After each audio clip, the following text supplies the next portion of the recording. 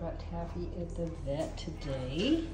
Nothing too serious. Just, I don't know why you think your, your lip never hangs on your teeth.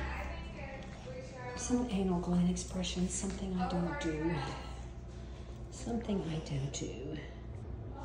And we have nose clips. So this girl had her nose clipped as a puppy. See how nice and wide her nose holes are now. It works. Mm -hmm. Got a little Dremel this morning. Let's see those toes. Yeah, they could. I could take a little more off. Had a little Dremel this morning. Mm -hmm. Dark will be right here.